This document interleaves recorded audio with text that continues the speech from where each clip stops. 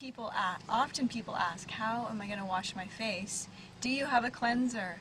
And what I created is the best skin ever, which is kind of like an ancient gypsy recipe.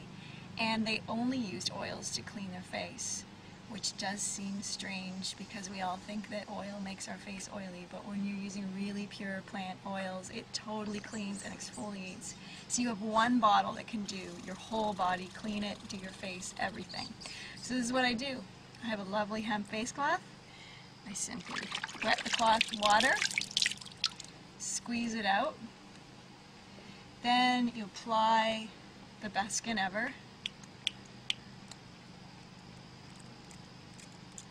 There.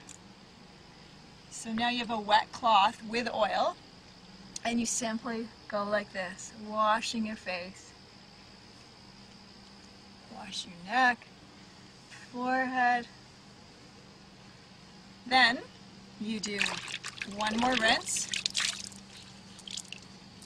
And then for extra full exfoliation, what you can do is use a really dry cloth, just wring it out a little bit more.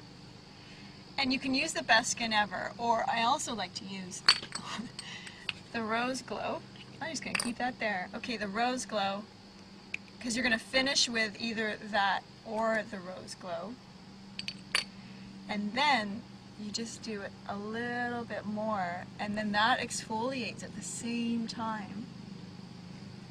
And you're also left with wonderfully moist skin. And that's it. That's it. And you will have the clearest most sparkling moist dewdrop skin ever if it's the winter and you live in the north you need a little bit more you take simply one more drop of oil and this one you just use your hands with. And um, like that, like this, massage it in, and you're done.